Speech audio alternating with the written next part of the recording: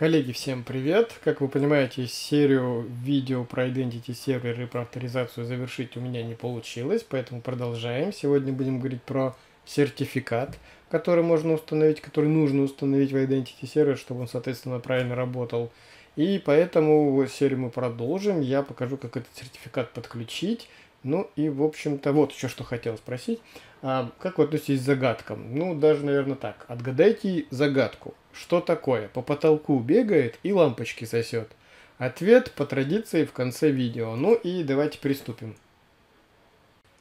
Вы наверняка помните, что у нас в Identity сервере, который, собственно говоря, он есть в наборе наших созданных проектов, есть э, вот этот вот э, Add Developer Signing Credential, да, то есть вот этот вот как раз э, строка создает непосредственно э, вот этот вот файл, который тоже замешан в этом генерации этого сертификата.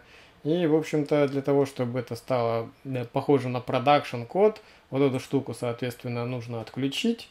И, собственно, э, давайте покажу, что вместо нее нужно сделать. Ну, во-первых, ее нужно отключить и добавить add credential, sign in credential. Сюда, как вы видите, нужно добавить сертификат. А, причем этот сертификат может быть, э, ну, вернее, это может быть sign in credential или sign key. То есть, на самом деле, вариантов много, да. Я буду использовать сертификат, что на самом деле проще. Ну, и я вот так вот напишу здесь сертификат, а вот здесь вот я буду его создавать. То есть var сертификат.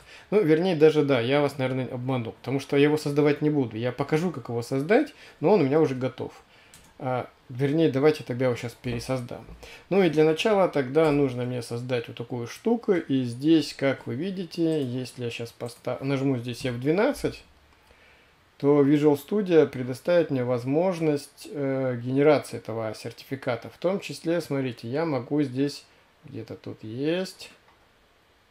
А, вот, файл name, да, я могу указать файл name, password и storage, или файл name и password. Я буду вот этот вот использовать э, сигнатуру для того, чтобы сгенерировать этот, э, ну, подключение, э, то есть не сгенерировать, а подключить сертификат к Identity серверу.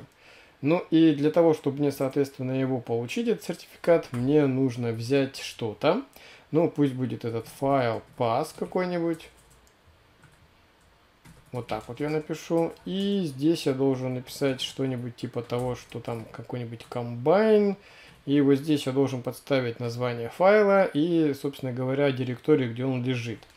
И вот этот вот файл pass я должен отдать сюда и еще указать вот этот вот э, паспорт. Но у меня он будет в стринговом варианте, пусть будет вот так вот. Э, то есть осталось дело за малым. Смотрите, ну, во-первых, мне нужно добавить сюда так называемый environment, то есть э, среда окружения, которая будет мне, которая мне скажет environment, э, которая мне как раз подскажет, где находится мой, ну то есть э, где находится мой сайт, вернее его корневая папка. Я поэтому создам по образу и подобию с configuration read only, да, вот так вот private свойства. И так как у меня уже есть вот это свойство environment, э, я могу вот здесь обратиться к нему и сказать, что я хочу content root pass. То есть это как раз корневой каталог моего сайта. Ну и естественно мне сюда нужно добавить название файла. Ну, пока у меня его тоже нету. То есть как только у меня появится вот это вот название файла, то есть сам файл, я смогу подключить через пароль и вот этот сертификат отдам сюда. Ну и, в общем, чтобы не затягивать с видео, хочу побыстрее вам сделать, я сделал статью в своем блоге. Собственно говоря, описал, что это такое сертификат. Как вы понимаете, это ваш собственный сертификат, подписанный закрытым ключом, который вы сами подписываете. Ну, он поэтому так называется self-signed. И для чего он нужен? Мне не получилось придумать пример, да, ну, собственно говоря, если вы девелопер, то, возможно, да, вам потребуется. Если вы там сисадмин и поднимаете свой домен-контроллер, то вам тоже, собственно говоря, потребуется. Но если вы попробуете выложить этот сертификат в интернет, он, естественно, будет невалидный. Но это же другая история с сертификатами. Разбирайте сами, это ваше домашнее задание. Я просто хочу показать, как это можно сделать. Ну, на самом деле, я вот нашел три варианта реализации. Смотрите, первый вариант это э, через PowerShell – То есть, когда мы определенными командами создаем сертификат, то есть, вот, вы видите, что тут как бы, ну, в общем, если интересно, можете, собственно говоря, потыкать и поделать. Есть описание, которое в Microsoft существует, то есть вот эта команда, как она работает. Ну, собственно говоря, здесь есть и примеры использования этой команды. Тоже на самом деле можно сообразить, как это сделать. Ну, еще есть вариант через OpenSSL, э, когда вы, э, ну, то есть вот генерите сертификат, и здесь использовать специальные тоже Э, команды для OpenSSL, ну, чтобы сгенерировать этот сертификат. В общем, на самом деле вариантов много. Но я вам покажу еще один вариант, который использую я обычно. Он называется через C-Sharp, да, ну то есть не через то место, которое обычно когда говорят, а вот именно через C-Sharp. А, на самом деле это очень простая утилита, ну даже не утилита, да, это набор кода, который можно сделать. То есть у меня есть определенный файл, который позволяет э, задать параметры. Вот он сейчас перед вами на экране. Потом у меня есть метод, который принимает этот вот самый сертиф... О, в смысле сертификат, options, да, вот, вот эти параметры конфигурации. И у меня есть метод, который, собственно говоря, вызывает этот, ну, создает параметры и дергает этот метод. И я это использую в линкпаде. Давайте я вам покажу, как это работает. Ну вот у меня загрузился линкпад. Вот, собственно говоря, этот самый текст. Ничего хитрого в этом нету. Вы, в общем-то, можете и консольное приложение создать. Но я сделаю это вот, вот таким вот образом. Ctrl-V. И вот у меня, ну, помимо того, что нужно установить namespace, сейчас я это сделаю. Using. И вот здесь вот тоже using. Вот, то есть вот все, у меня готово. Ну и как вы видите, у меня, я вот специально подставил, чтобы не тратить время, я буду создавать Identity сервер, это common name, это то наименование, которое будет видно в самом сертификате, и название сертификата. Вот он паспорт, я давайте его скопирую сразу и засуну его, как вы понимаете, вот сюда. Правильно? Да, правильно. Э, Чтобы потом не обделаться, так сказать.